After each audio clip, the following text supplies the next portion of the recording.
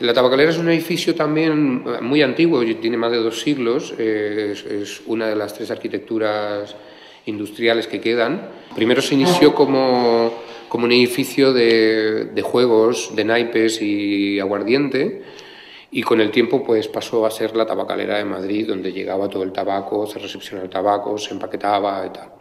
Eh, después pasó mucho tiempo cerrado, y luego lo hemos tomado algunos colectivos, tanto sociopolíticos, socioeconómicos, socioculturales. Allá me entró a mi teléfono personal una llamada del Ministerio de Cultura que querían hablar conmigo de un tema de una, de una exposición, me dijeron.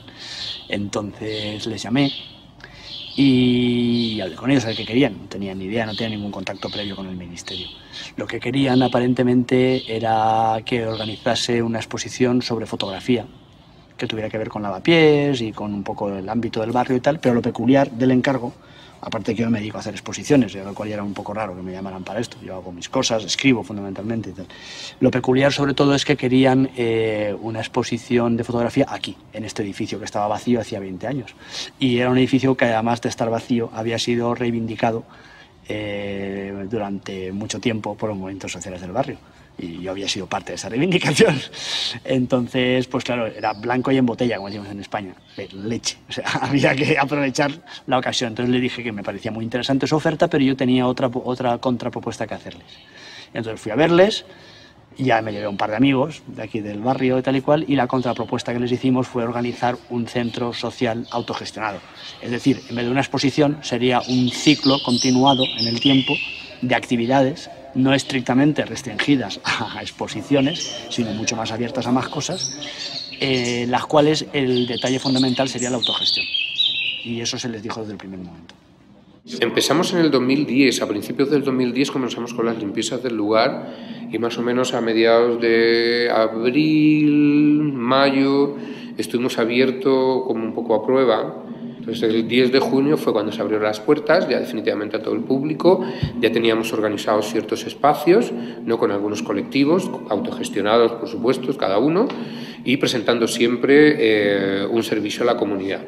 Creo que está muy equilibrado ¿no? en cuanto a lo que son las exposiciones, talleres, debates, ponencias, eh, espacios, serios espacios, por ejemplo, para gente del 15M, que no tienen donde hacer reuniones, o, talleres de lenguaje para gente extranjera que no, no, tiene para pagarse un curso de español.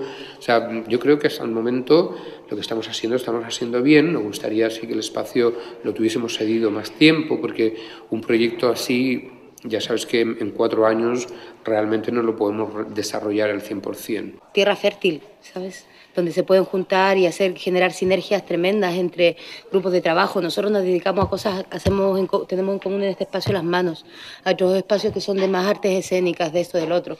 La convivencia de todos esos grupos hace que que de tabacalera puedan surgir eh, no solo aprender nuevos métodos de trabajo o de organización y qué sé yo, sino que también proyectos buenos, cooperativos. Eh, de hecho, han salido obras de teatro con montajes que se han hecho aquí, con, ¿sabes? con cooperación de los que saben de sonido. Ya no necesitas todos esos recursos que uno debería tener como para montarse el chiringuito a la usanza tal, sino que es todo lo contrario. O sea, es productivo y funciona porque, porque, porque estamos todos aquí, todos tenemos, sabemos lo que hacemos cosas, queremos hacerlas y cooperamos. Sí, hay un punto importante que no, no va atravesando lo que es eh, el sistema del dinero. Esto es, como es un centro cedido, pues aquí funciona todo, se paga con trabajo y con ganas. Y esa, la motivación no es eh, lucro, la motivación son inquietudes personales.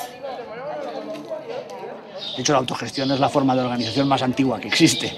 No, no debería sorprendernos que funcione. ¿no? Lo que sí que es sorprendente es que funcione en un espacio que es propiedad de un gobierno. O sea, el gobierno ha cedido este espacio de autogestión. Entonces, adelantando un poco o un tanto el espíritu de la revolución o de las revueltas del 15M, este es un espacio en el que las instituciones, el Estado, en vez de ejercer su poder como ellos saben, han dejado que los ciudadanos se autoorganicen.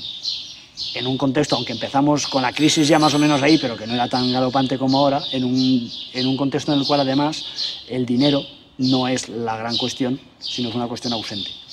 El Ministerio no, no tiene que poner dinero, nosotros no queremos pedirle dinero, no, no queremos su dinero, queremos la capacidad de tomar decisiones y de organizarnos. Entonces, la importancia yo creo que está en la coincidencia de esos factores, que sea propiedad del Estado, pero que siendo propiedad del Estado, el Estado lo haya cedido, haya aceptado que los ciudadanos somos maduros, somos adultos para organizarnos. No somos niños que necesitamos un maestro, un policía y un médico, sino que, que, nos, que nos organizamos bien, que nos apañamos. Y además sin dinero, cosa que ellos no pueden hacer.